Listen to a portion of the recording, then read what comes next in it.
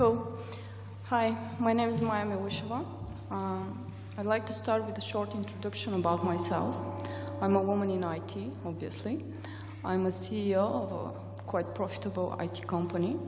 I'm a mother as well, so you would say I went through quite a lot in the IT industry.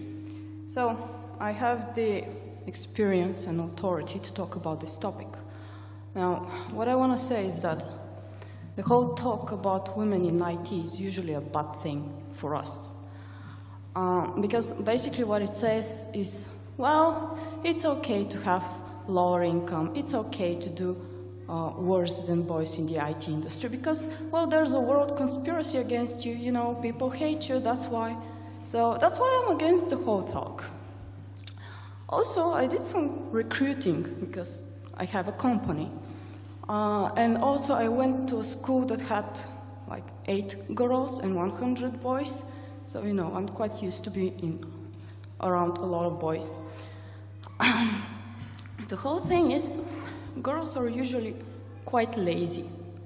They're just not that good programmers. Sorry, but that's true, honestly.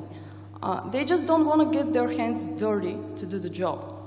And um, when I tried to do some recruiting, I intentionally wanted to recruit women. And at the end, I failed to do so. You, do you want to know why? Because most of those girls were usually just cheating, and um, they just they were just not good programmers. At the end, I had to recruit boys. Uh, and that's why I think the whole talk about let's recruit more women is bad, because at the end, you're recruiting worse programmers uh, at the end, your company is going to suffer. You're going to lose some money.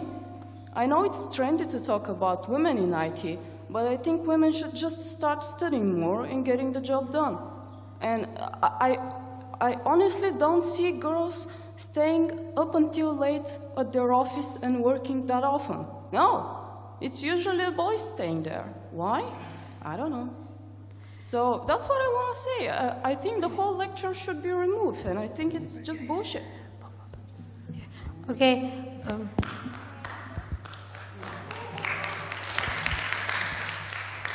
May I answer that? Just yeah. one second. What do you want? Okay. Uh, okay, everyone has a, uh, its own opinion. I just want to say one thing, make one thing clear. The whole idea of uh, this uh, presentation is not uh, the sentence, we should recruit more girls. No. We know there is a meritocracy system, and uh, each company should recruit the best program there.